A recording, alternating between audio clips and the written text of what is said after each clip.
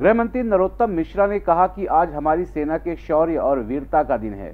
दो साल पहले आज ही के दिन सर्जिकल स्ट्राइक में जैसे मोहम्मद के ठिकानों पर सेना ने फतह हासिल की थी। उन्होंने कहा कि यह दुर्भाग्य था कि पूर्व मुख्यमंत्री कमलनाथ ने गरीबों के भोजन की दीनदयाल रसोई योजना बंद कर दी थी। गृह मंत्री नरोत्तम मिश्रा ने कहा कि फतह हासिल करने वाले वीर सैनिकों को नमन है। आज उनके शौर्य और वीरता का दिन है। उन्होंने ममता बनर्जी के स्कूटी से गिरने पर तंज कसते हुए कहा कि ममता के गिरने का समय आ गया है। धन्यवाद उन सिपाहियों को जिन्होंने उन्हें बचाया।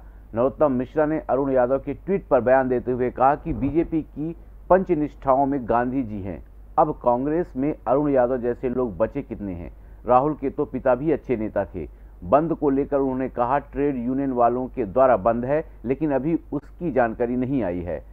रसोई योजना बंद करने पर उन्होंने कमलनाथ पर निशाना साधते हुए कहा कि यह दुर्भाग्य था कि कमलनाथ ने दीनदयाल रसोई योजना को बंद कर दिया था। अब कोई भी गरीब भूखा नहीं रहे, इसलिए पाँच रुपए में इस योजना को शुरू किया जा रहा है।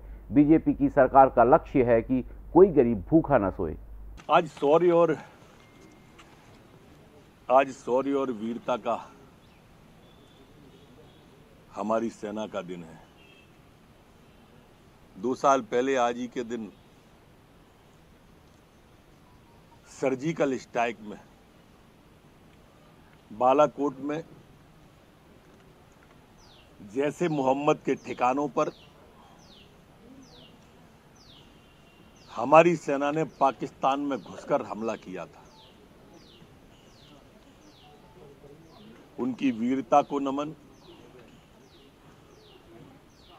और उनके शौर्य को नमन करने का दिन है, मैं उन्हें नमन करता हूँ। दुर्भाग्य तब था जब ये चलने वाली जब दीनदयाल रसोई पाँच रुपए की प्रारंभ की थी तो कमलनाथ सरकार ने बंद कर दिया। उन्होंने संबल योजना भी प्रभावित की, उनने मध्य प्रदेश की तीर्थ दर्शन योजना भी प्रभावित की, उसी में दीनदयाल रसोई योजना भी प्रभावित की। आज मुख्यमंत्री जी उसे पुनः प्रारंभ कर रहे हैं।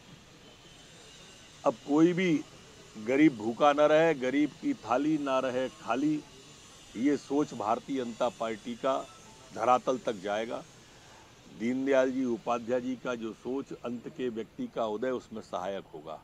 ये अंत्योदय में सहायक होगा। अब उनके मंत्री उन्हें गिरा रहे हैं। उनको अब समझ लेना चाहिए। गिरने का समय आ रहा है।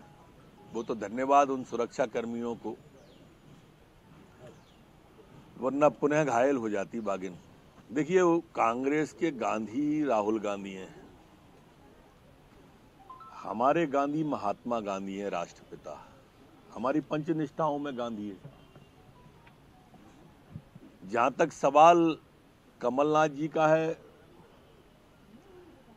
अब अरुण यादव जी जैसे बचे कितने हैं उस कांग्रेस में? अधिकांश सोकाल्ड तथाकथित गौड़ से भक्ति है, रूप अलग अलग और स्वरूप अलग अलग नाम अलग अलग दल अलग अलग से आए हुए अरुण यादव जी के पिताजी भी कांग्रेस में रहे, वो भी रहे। और इन्होंने तो कभी राहुल गांधी की ही नहीं मानी कमलनाथ जी ने। तो अब क्या मानेंगे? ट्रेड यूनियन वालों के द्वारा है पर अभी तक इस तरह की कोई सूचना आई नहीं है। मेरे ख्याल से ज्ञापन वगैरह देने का उनका कार्यक्रम होगा तो वो कर लेंगे। संगीत की स्वर लहरियों से सांस्कृतिक ताने बाने तक चंबल के पीड़ों से नक्सलवादियों के गढ़ तक झोपड़ी से महलों तक ठेलों से मेलों तक पगडंडियों से सड़कों तक गाँव से शहरों तक व्यापार से उद्योगों तक। राजनीति से कूटनीति तक। दखन न्यूज़। आपके हक।